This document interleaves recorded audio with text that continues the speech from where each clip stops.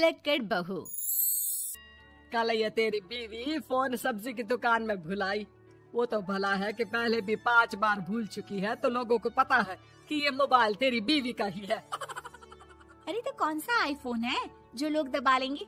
दो कौड़ी का फ़ोन है न लाइट चलती है न आवाज़ आती है। बस नाम का फ़ोन है ये नाम का।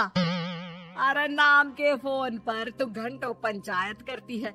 न जाने क्या काम होता है। अरे कौन से शहर बाज़ार में तू काम करती है? बहू सास से जीत तो सकती नहीं थी। वहीं से चली जाती है। लेकिन हाँ भूलने की आदत उसकी अब भी रहती है। सुनो नहाने जा रहा हूँ। ऑफ़िस के लिए देर हो रही है तो जरा ये शर्ट प्रेस कर देना। और हाँ प्लीज़ और कोई शर्ट धुली नहीं है तो थोड़ा ध्यान से करना ठीक है? अरे हाँ हाँ पता है। हर बात पर सिखाया मत कीजिए। इस घर में शादी करके तो ऐसा लग रहा है कि सामान्य ज्ञान की क्लास ही चलती रहती है हर वक्त। परेशान करके रख दिया है। पति नहाने जाता है और बीवी लग जाती है पति की शर्ट प्रेस करने, कि तभी बाहर से आवाज़ आती है। कोई गरीब साधु को रोटी दे दे। अरे बाबा, भूखा खड़ा है तेरे द्वार देवी। बाबा को भिक्षा देकर पुण्य कमा ले देवी। ये तो पुण्य की बात है कि बाबा दरवाजे खड़ा है। अब इसकी आवाज़ सासू माँ को सुनाई नहीं देगी।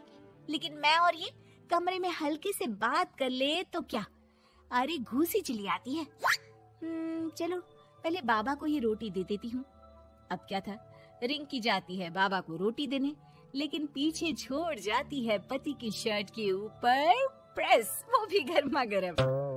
अरे बाबा रोटी तो ले लो। बस ये बता दो कि मेरी किस्मत कब जगेगी? ससुराल में हालात टेबल टेनिस के बॉल की तरह हो गए हैं। कभी कोई इधर फेंकता है तो कभी कोई उधर फेंकता है। कोई इधर मारकर उधर फेंक देता है। समझ में ही नहीं आ रहा कि ये भूलने की आदत कैसे ठीक होगी। कोई उपाय हो तो बता दो ना, बाबा। बाबा घर के अंदर देखते हैं तो एक घंटे बाद टीवी पर गजनी फ़िल्म शुरू होने वाली होती है। याद है ना? गजनी फ़िल्म, जिसमें आमिर खान को भूलने की बीमारी होती है, और वो हर बात को लिख कर याद रखता है। अरे बेटे, हम बाबा है। हर किसी सवाल और जीवन में दुख, परेशानी का निजात है हमारे पास। तुम एक काम करो, एक घंटे बाद टेलीविज़न के सामने बैठ जाना और जो फ़िल्म देख रही हो ना, देख लेना। तुम्हें तुम्हारे सारे सवालों के जवाब मिल जाएँगे। अलग निरंजन, निकालो खाना सलाह देने की दक्षिणा भी। अरे बाबा, जीवन से ये वाली समस्या खत्म हो जाए तो समझिए मेरे घर से आपका लंच पैक शुरू। वो भी बिल्कुल फ्री में। तभी अंदर से पति के ज़ोर ज़ोर से चीखने की आवाज़ आती है। अरे क्या मज़ाक बना रखा है तुमने? ये क्या है? पूरी शर्ट जला दी। तंग आ गया हूँ मैं तुम्हारी भूलने की आदत से। हे भगवान ये मेरा गधा जैसा बेटा सारा दिन जितनी कमाई नहीं करता उतना तो ये लड़की नुकसान करवा देती है। बाबा लग रहा है कि कोई कांड हो गया है अंदर मुझसे। अच्छा मैं ना एक घंटे बाद बैठ जाऊँगी फ़िल्म देखने विदा लीजिए अब तो आप।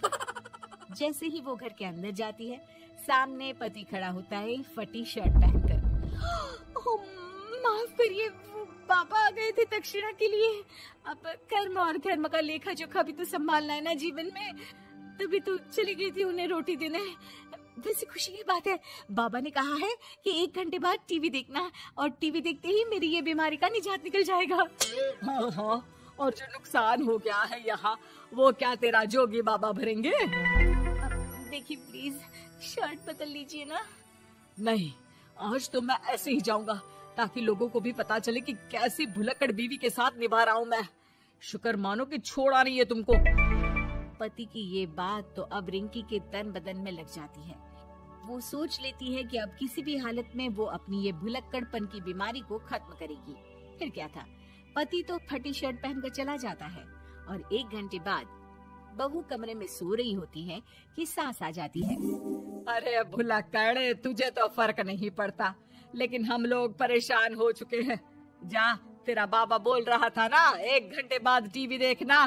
तो जा देख, क्या पता कुछ सुधार हो जाए। बहू टीवी खोलती है तो सामने चल रही होती है गजनी फ़िल्म, जिसमें आमिर खान शरीर में या दीवार में लिखकर अपनी चीज़ों को याद रखता था। तेरी वाह, ये तो सच में बड़ा सही आइडिया है। इससे मुझे याद रहेगा कि क्या करना है और क्या नहीं। अब तो मैं भी सब सीख लिया करूँगी। वो टीवी बंद करके किचन में जाती है कि सास की आवाज़ आती है। अरे तेरी बुआ सास आ रही है। खाना बना लेना उसके लिए भी।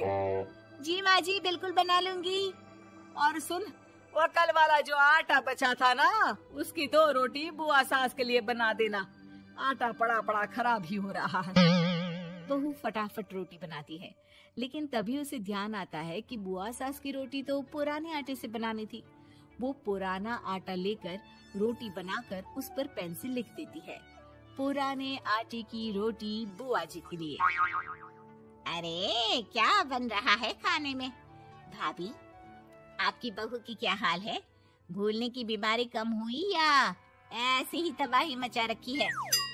अरे क्या बताए, अब आज किसी बाबा से उपाय पता किया है। देखो जरा। भाभी, आप ही हो जो संभाल रही हो ऐसी बहू। हम लोगों से तो पता नहीं हो पाता या नहीं। तभी वहाँ बहू आ जाती है। हाँ तभी तो मैं इनकी बहू हूँ, आपकी नहीं। वैसे मैंने तोड़ निकाल लिया है। अब क्या था? बुआ सास जैसे ही खाना खाने बैठती है, कि सास बोल पड़ती है। बहू, याद तो होगा नहीं जो बोला था। याद करो, बुआ के लिए कौन सी रोटी बनानी है, कहा था ना मैंने? जी, सब याद है, सब कुछ, ये लीजिए। लेकिन जैसे ही बुआ सास की रोटी उनकी प्लेट में आती है, वो ज़ोर ज़ोर से चिल्लाने लगती है। अच्छा तो ये टोटका बताया है तेरे बाबा ने जो कुछ भूलो लिख लो क्यों? बहू को लगता है कि बुआ सास तारीफ़ कर रही है। अब क्या करे? याद रखने के लिए कुछ न कुछ तो करना होगा ना? वरना रोज रोज ताने बोलियाँ खा खा कर तो मैं परेशान हो गई थी। हम्म, तो क्या कहा तेरी सास ने? बासी आटे की रोटी बुआ सास के लिए? है? बाबा अरे कैसी बात कर रही हो ना नदरानी मैं ऐसा क्यों बोलूँगी? वैसे आपको कैसे पता चला? क्योंकि तेरी भुलक्कड़ बहू ने ये लिखा है। बहू सबके सामने वो रोटी रख देती है जिसमें लिखा होता है बुआ सास की रोटी बासी आटे की।